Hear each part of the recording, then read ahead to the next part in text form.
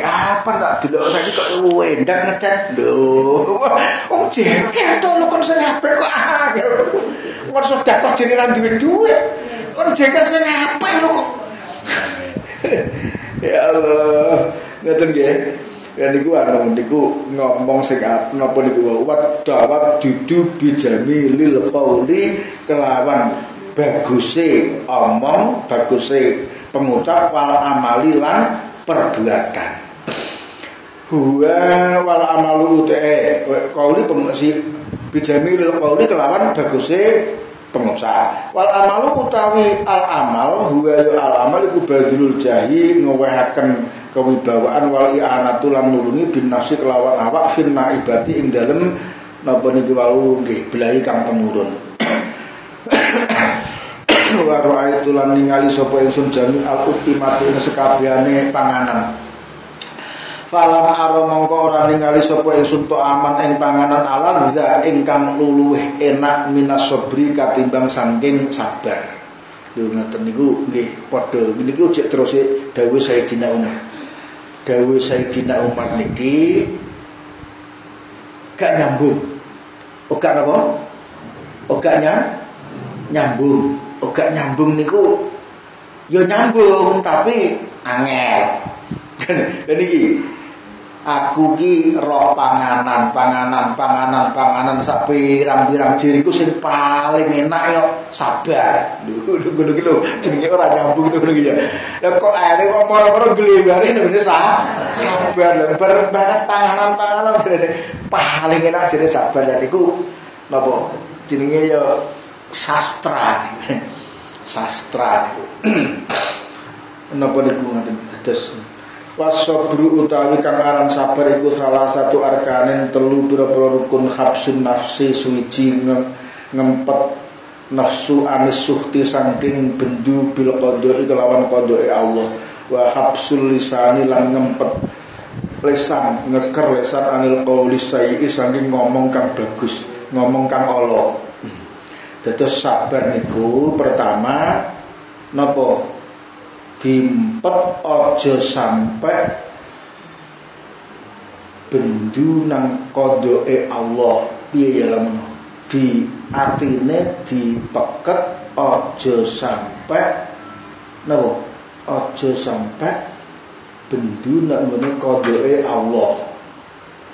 Ndak dikongkon apa? Dikongkon ridho nang ngene kodoke Allah.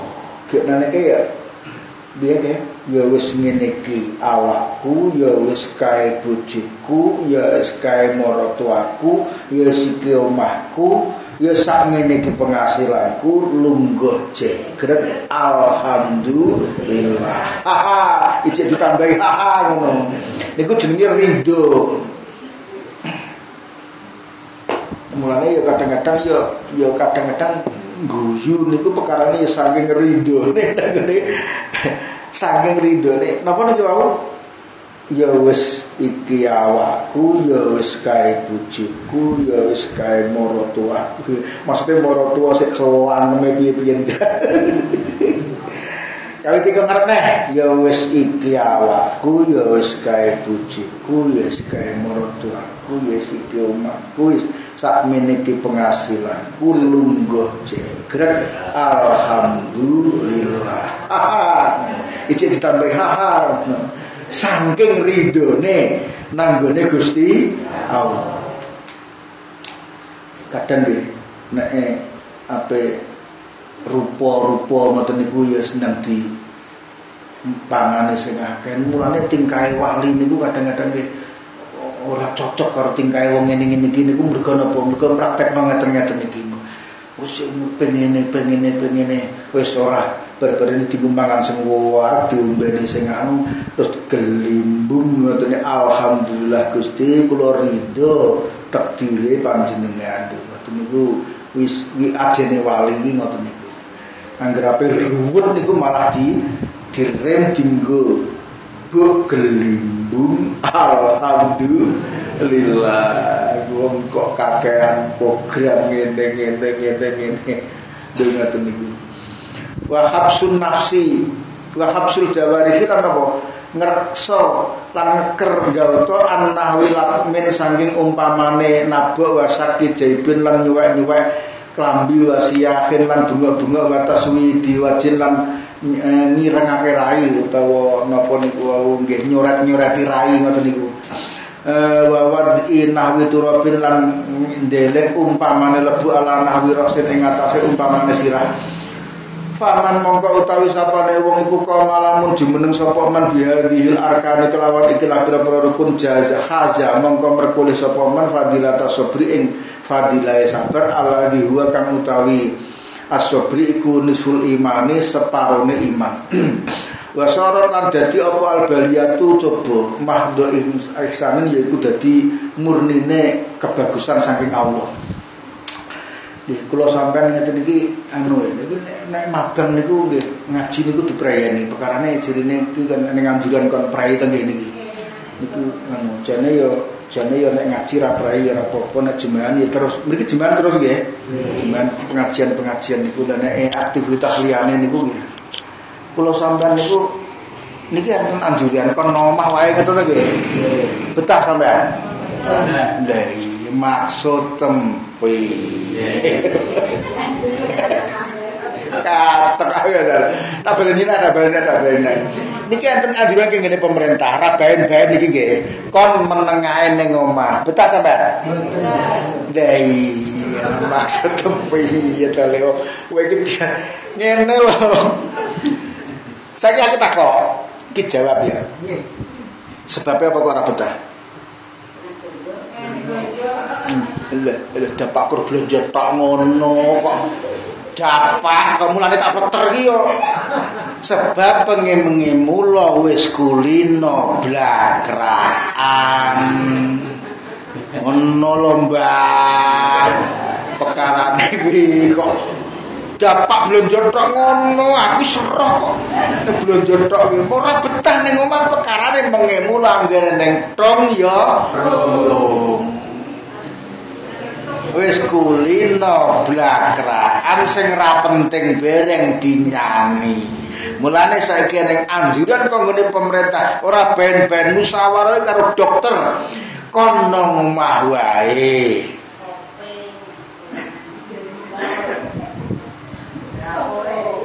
Niku niki pancene tibake ning kitab niku nggih dianjurno nek nang kitab-kitab niku wis ora kathik eneng apa-apa biyen mula nek ora penting dipenging metu jenenge uzlah. Napa?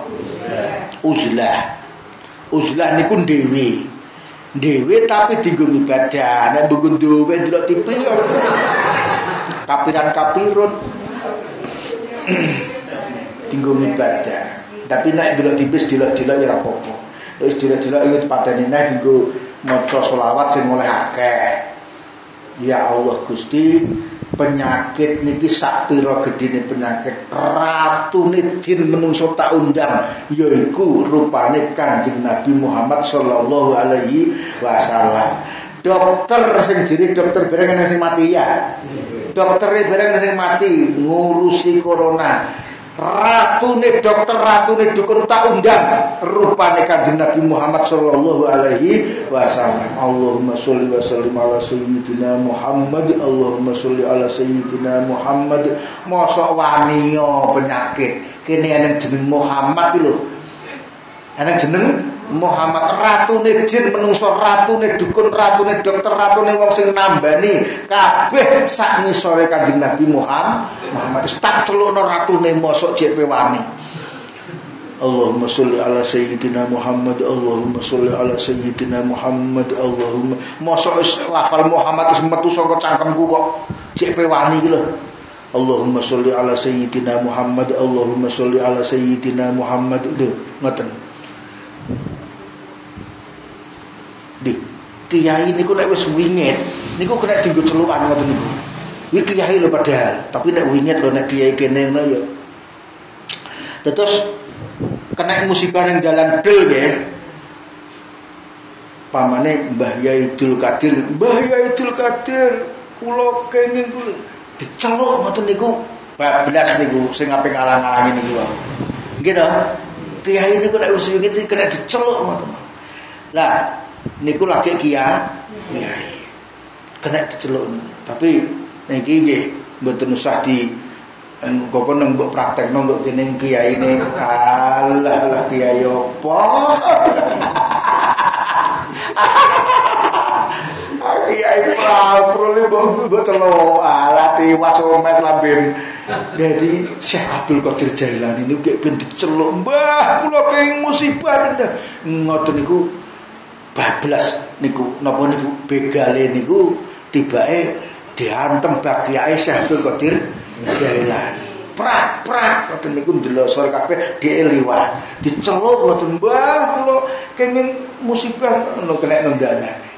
Lah Niki lek kula panjenengan sami kena musibah kaya celuk-celuk ratune kiai, ratune ulama, ratune dokter, ratune dukun, ratune jin menungso Kanjeng Nabi Muhammad sallallahu alaihi wasallam. Diceluk terus niku. Mungkin lagi di eh, liyane abablas kabeh. Nggih, ngoten nggih. Eh, anlatmi eh, nahwi rasin faman qama bihadhil arkani jaza fadilatus sabri. Haza haza fadilatus sabri alladhi huwa nisful iman. La sorab al baliyatu mahdu insanin pun wallahu alam bisawab. Biding canda summa sabru ala aqsam. Ila hadratin nabiyil mustafa sallallahu alaihi wasallam. Allahumma sahih ajsadana al-fatihah a'udzu billahi minasyaitonir rajim bismillah